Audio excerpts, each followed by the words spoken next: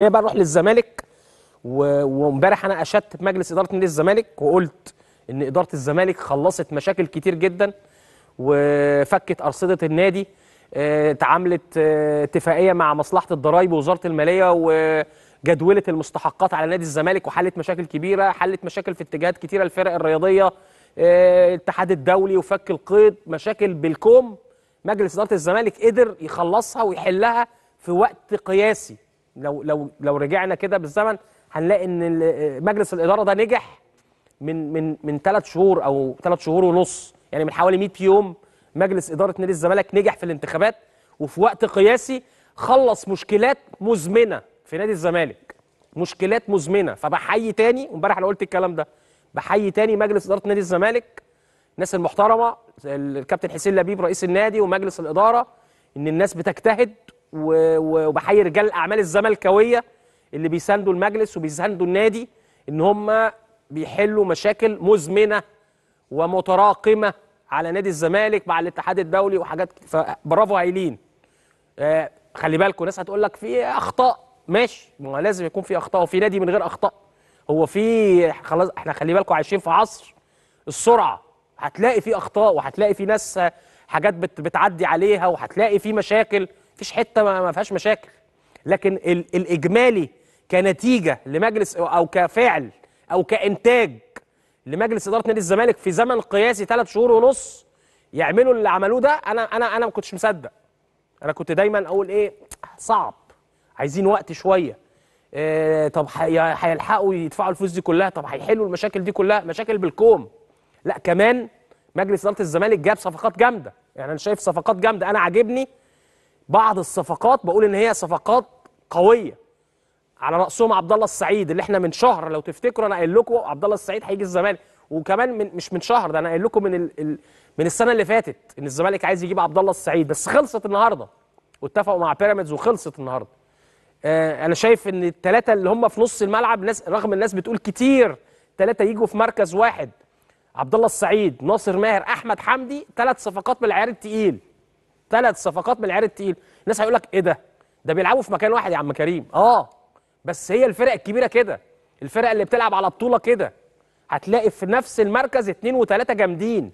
اللي بيلعب واللي بينزل واللي قاعد على الدكة. هي الفرق الكبيرة كده. لازم يكون الكواليتي عندها كده. وخلي بالكوا أحمد حمدي عبد الله السعيد بيلعب 10 وممكن يلعب مركز 8 ناصر ماهر بيلعب 10 وبيلعب 8 أحمد حمدي بيلعب 10 وبيلعب 8 يعني ممكن تلاقي عبد الله السعيد وناصر ماهر في الملعب. خلي بالكوا يوسف أوباما بيلعب برضه في مركز عبد الله السعيد بس إيه إيه ب style مختلف. عبد الله السعيد صانع ألعاب لعيب playmaker أوباما لعيب شوية بيلعب إيه، على قدام على كمهاجم وعنده القدرات والقوة والسرعة والكلام ده. عبد الله كورته مختلفة. فأنا بقول صفقات من العيار التقيل. في صفقات يعني مش عايز مش عايز أقول أسماء مش عجباني. مش عجباني أو مش مش quality نادي الزمالك. وفي صفقات غالية جدا. يعني آه، هقول لكم دلوقتي بس عشان ما ما اكونش إيه حد يزعل مننا يعني. بس هقول لكم في حاجات مبالغ فيها في الفلوس. يعني في زياد كمال لاعب آه، نادي امبي اللي انتقل للزمالك إعارة آه، سنتين ونص مقابل 30 مليون جنيه. كتير قوي. يعني زياد كمال لعيب كويس ولعيب مميز ولعيب صغير في السن بس لسه ما عملش حاجة عشان يبقى سعره 30 مليون جنيه في ثلاث سنين أو في سنتين ونص. كتير قوي. يعني مش عارف ليه. زياد لعيب جامد جدا. أنا مش قصدي حاجة. بس مبالغ فيه الفلوس. يعني قال لك الزمالك جايب زياد كمال لاعب آه، امبي إعارة بنية الشراء. إعارة سنتين ونص بنية الشراء. ال- الفلوس هتدفع على ثلاث اقساط. دلوقتي الزمالك هيدفع القسط الأول 5 مليون جنيه الامبي والقسط الثاني أكيد هيكون السنة الجاية 15 مليون جنيه إعارة والقسط الثالث 10 مليون جنيه. يعني المبلغ كله على بعضه في سنتين ونص 30 مليون جنيه.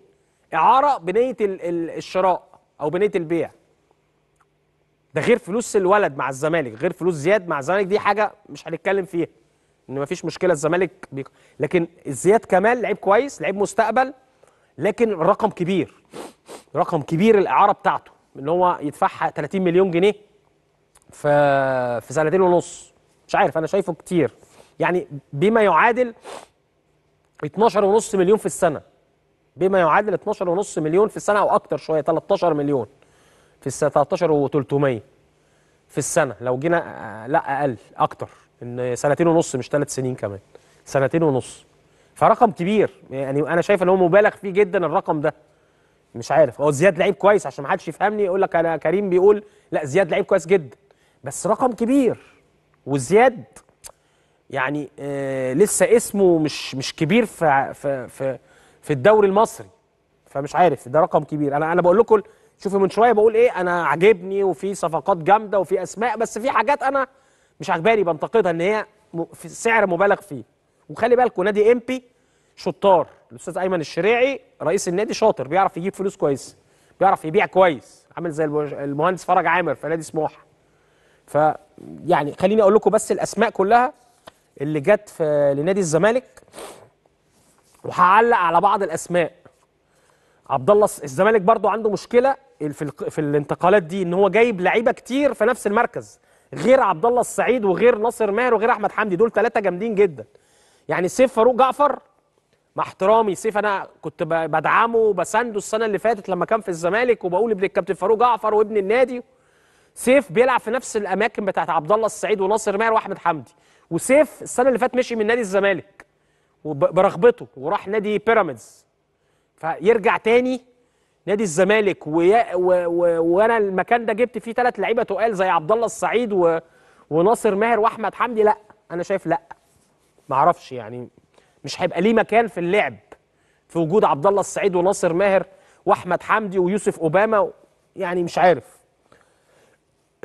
طبعا عبد الله السعيد سيف فاروق جعفر محمد شحاته لعيب نص ملعب برضه في نادي الزمالك من طلائع الجيش. آه، إعارة برضه خلي بالكم محمد شحاته إعارة. آه، أحمد حمدي اللاعب الفلسطيني ياسر حمد مدافع منتخب فلسطين وبيلعب في نادي اسمه نورث إيست يونايتد في الهند. مهاب ياسر لاعب الداخلية برضه بيلعب خلي بالكم في نفس مركز عبد الله السعيد الحتة اللي هي نص الملعب المهاجم. محمد عاطف جناح بقى بيلعب تحت الفراودة وجناح لعيب كويس. زياد كمال برضه لعيب نص ملعب. الأوغندي ترافيس آه ترافيس موتيابا.